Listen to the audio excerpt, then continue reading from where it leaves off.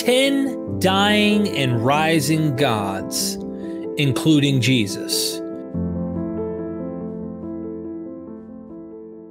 We're going to make Jesus number one because my whole purpose in this video is to show you Jesus' death, burial, resurrection, ascension is not an uncommon thing in the ancient world when gods or divine figures who are being worshipped are in the scene. The zeitgeist of the era was full of superstitions and mythologies that were developing. People believed in these things all the time. I'm going to be reading from Dr. Richard Carrier's article, and I hope you will go and read it yourself and follow up with his hyperlinks to see the source material for yourself. All of this literature is amazing, so I will be skimming through his article as I read it because it's so long, but it's full of great stuff. The name of his article is Dying and Rising Gods. It's pagan, guys. Get over it. Number one is Jesus, born of a virgin, does miracles, lives his life, dies, crucified, buried in a tomb after three days and three nights, just as Jonah, and he's spit up. And of course, in this particular one, he resurrects and ascends on high.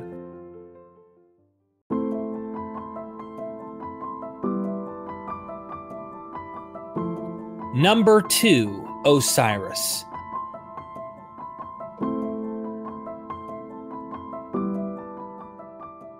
A lot can be said about Osiris, so let me read some and then leave the rest for you to read yourself. Not only does Plutarch say Osiris returned to life and was resurrected, exact terms for resurrection on Isis and Osiris 35. See his discussion on the empty tomb, and also describe his physically returning to earth after his death. But the physical resurrection of Osiris's corpse is explicitly described in pre Christian pyramid inscriptions. Osiris was also resurrected, according to Plutarch, on the third day, and died during a full moon, just like Christ. Passover occurs during the full moon, and in Plutarch on Isis and Osiris 39 and 42, Osiris dies on the 17th of Athyr, the concluding day of the full moon, and is raised on the 19th, two days later, thus three days inclusively, just like Jesus. Jesus dies on a full moon. Ice, Osiris dies on a full moon. And when you look carefully at this on Isis and Osiris, chapter 42, it talks about the 17th day, and Pythagoreans have this weird number of 17, and they have a certain uh, superstition about the number. I want to tell you something interesting about this in the Gospels. The number 17 is a perfect triangular number. 1 plus 2 plus 3 plus 4 plus 5 plus 6 plus 7 plus 8 plus 9 plus 10 plus 11 plus 12 plus 13 plus 14 plus 15 plus 16 plus 17 equals 153. When Jesus says to cast the net on the other side and they catch all these fish in the net, they capture 153 fish. This story also looks like Pythagoras' story. This are my notes. Plutarch writes that Osiris came to Horus from the other world and exercised and trained him for battle and taught him lessons. And then Osiris consorted with Isis after his death, and she became the mother of Harpocrates. It's hard to get more explicit than that. Contrary to Ehrman, Dr. Carrier and Ehrman are going back and forth because Ehrman doesn't believe Osiris came back in the flesh. He spends the entire next paragraph describing, for example, I have come to thee that I may revivify thee, that I may re- assemble for thee thy bones, that I may collect for thee thy flesh, that I may assemble for, for thee thy dismembered limbs. Raise thyself up, King Osiris, thou livest. Pyramid text. Raise thyself up, shake off thy dust, remove that dirt which is on thy face, loose thy bandages. It's clearly a resurrection on earth in the same body this idea that we see that also is very similar to Jesus. And you have to, you really, common sense begs you to have to ask yourself, where did these ideas come from? They, they did not come in a vacuum bubble of Christianity. This stuff's been old. Ideas just floating around in the ancient world. Number three, Dionysus. Before I even read anything that he has to say, I highly recommend reading Dennis MacDonald's work on Dionysus and the Fourth Gospel. Eh, the Dionysian Gospel is the name of the book, and his work on Greek literature and its influence in the New Testament. Dionysus, also popularly known as Bacchus, had many different tales told of him, just as Osiris did.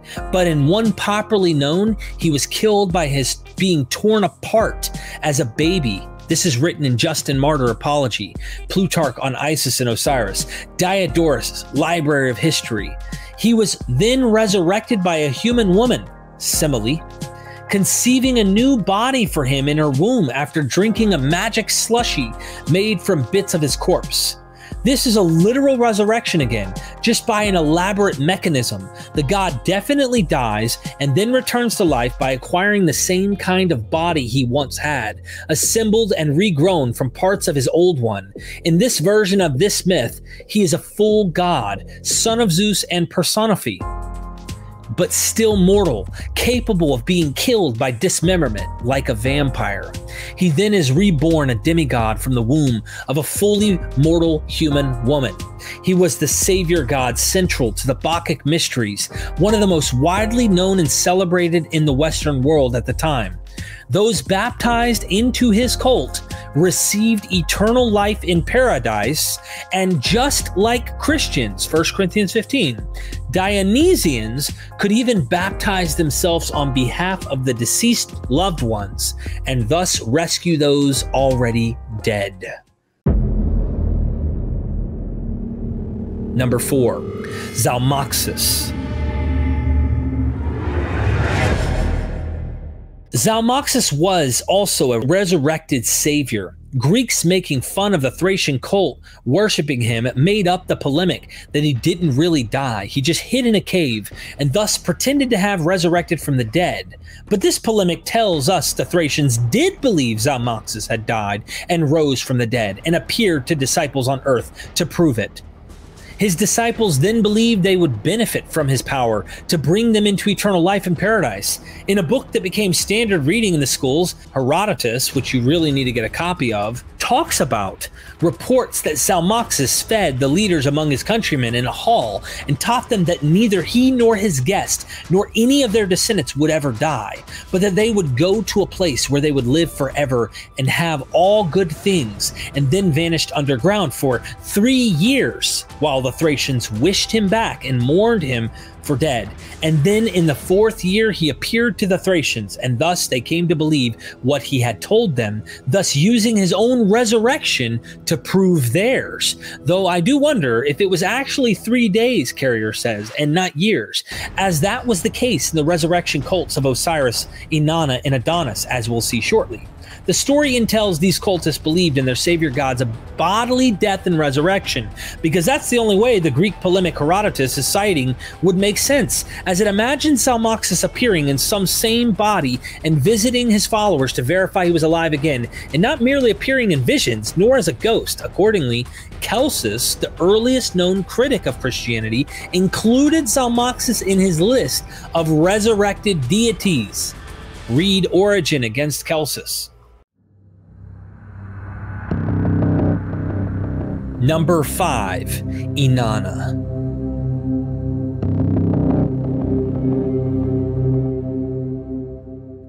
Inanna is the earliest known resurrected god. For her, a clear cut death and resurrection tale exists on clay tablets, inscribed in Sumeria over a thousand years before Christianity, plainly describing her humiliation, trial, execution, and crucifixion, and her resurrection three days later after she is stripped naked and judgment is pronounced against her, Inanna is turned into a corpse, and the corpse was hung from an ell. And after three days and three nights, her assistants ask for her corpse and resurrect her by feeding her the water and food of life.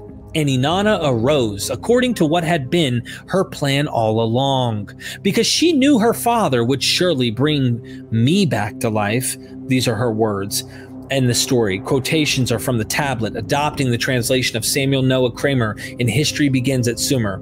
This cult continued to be practiced into the Christian period, Tyre being a major center of her worship. By then, there is some evidence her resurrection tale was shifted to her consort Tammuz, one of the several resurrected deities the Greeks called Adonis. Number 6 Adonis. Adonis was the title of at least one, if not several, resurrected saviors by the time Christianity began, sometimes equated with Tammuz, or possibly one confused with Tammuz, but either way, certainly a resurrected god.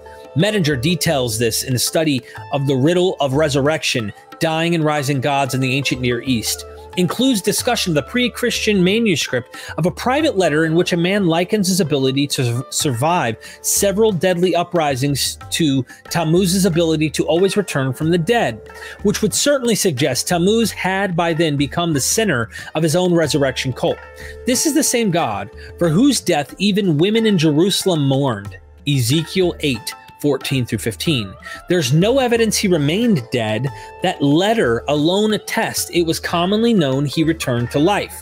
And in the third century AD, the Christian scholar Origen says in his comments on Ezekiel, explaining the very same passage, that Tammuz was still worshipped in his own day under the title of Adonis.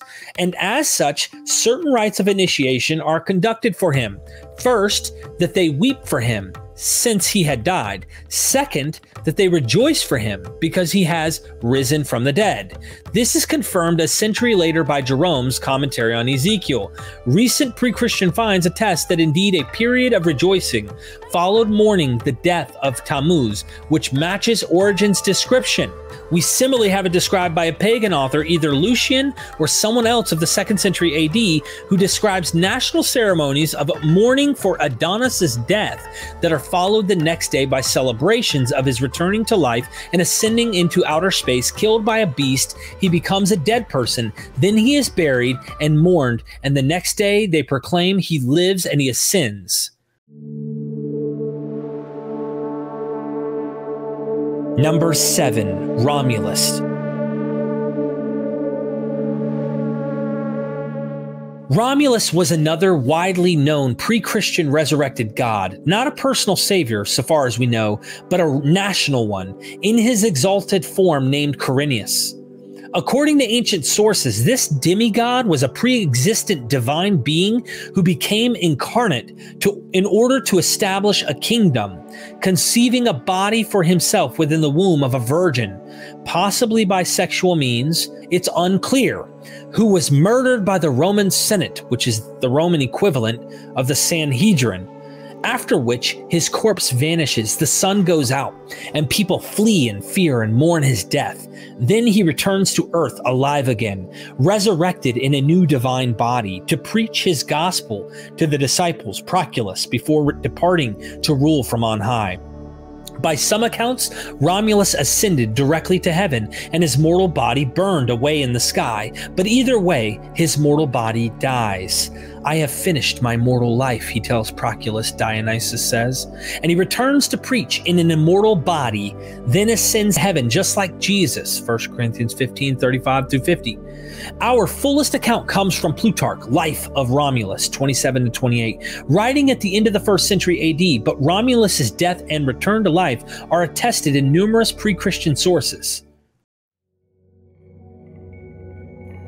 Number 8 Asclepius. Asclepius was also a popular resurrected god. Christian apologists want to try and deny this by saying Asclepius merely, like Caesar, rose to heaven like a ghost upon his death. But that isn't what the ancient worshippers said. Celsus reported that a great many Greek and barbarians claim they have frequently seen and still see no mere phantom, but Asclepius himself. Origen against Celsus 324. Asclepius was killed by a lightning strike and buried. Hesiod fragments 125. Euripides, Cicero on the nature of the gods. Origen against Celsus 323. He was then restored from death to becoming a living god. As Ovid says, by a god he was turned into a bloodless corpse, and then from a corpse became a god, twice renewing his fate. That this was regarded a resurrection is fully confirmed by the narrative. Zeus killed Asclepius for resurrecting the dead. But when the slain's father Apollo complained, Zeus relented and restored Asclepius back to life. this time as an immortal god. Ovid thus remarks that Zeus did for his son's sake that which he forbade be done. In other words, Zeus forbade raising the dead, but made an exception for Asclepius. It is thus understood that Zeus rose Asclepius from the dead. He had been a corpse, so he would have remained, but by the miracle of God, now was alive, eternal and immortal, supernaturally powerful, just like Jesus.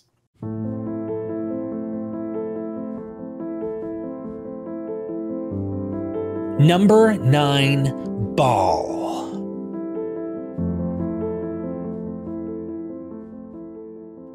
Baal was one of the most ancient of resurrected gods. His death is probably the same mourned under the name Hadad Rimmon in Zechariah 12:11. But whether or not in pre-Christian text Baal's corpse is found by Anat. So in his myth, the god is definitely dead. One text even outright says, "And the gods will know that you are dead." and multiple gods actually declare him dead. He is then buried and funeral rites performed. Read Mettinger Riddle.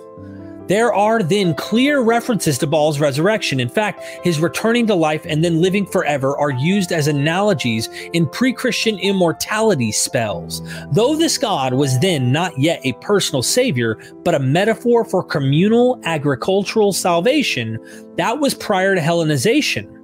He was transformed into one of the many personal savior gods of the region we hear of at the dawn of Christianity, but are allowed to know nothing about, owing to the medieval Christian destruction of pagan evidence. For example, Hippolytus devoted two entire chapters of his Refutation of All Heresies to the mystery cults and their savior deities. Curiously, those are the only two books wholly destroyed. Go figure. What were the medievals trying to hide? What did they not want us to read? I'll let your imagination ponder.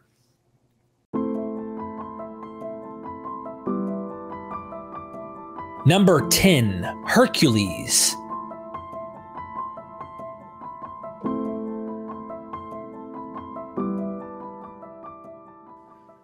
Hercules, or also known as Melkart, is another of the most ancient of resurrected deities akin to Baal in both his origins and possible future co option in later Hellenistic mystery cults. His legend became fused with that of Hercules centuries before Christianity and attested by authors of the Roman period. Another person wrote that Hercules was killed by Typhon, but Iolaus brought a quell to him, and having put it close to him and ritually burning it, he smelt it and came to life again. And Josephus attests to ongoing celebrations of resurrecting Hercules in Jewish antiquities, mistranslated in Whiston, see Mettinger. In both accounts, this is explicitly said to be the story of the Tyrian Hercules, which we know meant Melkart, whose base of worship was Tyre. Diodorus tells another story of Hercules killed by a fire, dying of poison. He's burned on a pyre because his bones then vanished when Iolaus tried to collect them. The story goes, it was concluded Hercules was resurrected and ascended to heaven. The supposition of resurrection upon the vanishing of a corpse was not only a common motif in antiquity, it is essentially the story told of Jesus. You could take a deep dive into that. The addition of appearance narratives to Still the Deal also accompanies many of these tales, Romulus, for example, and there may have been such for Hercules, but in any event, it was clearly believed he had died and been raised from the dead and then ascended to heaven with divine power, just like Jesus.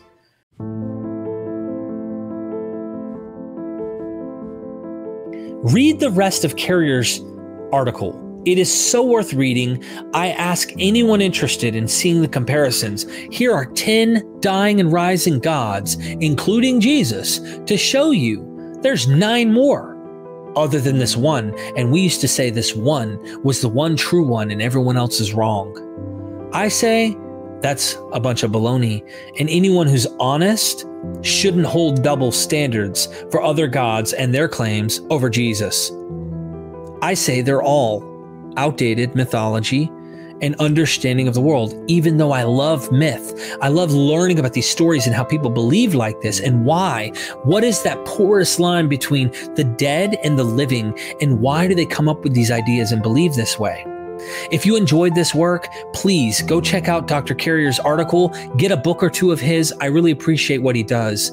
You can also support us here at MythVision so we can keep bringing you this content. Become a patron, join the YouTube membership program. We have a thanks button here in the bottom of this video that you can click and donate that way. I have one time donation options as well. You can email me if you have any questions. Please don't stop at one and recognize these are all myths. Never forget, we are MythVision.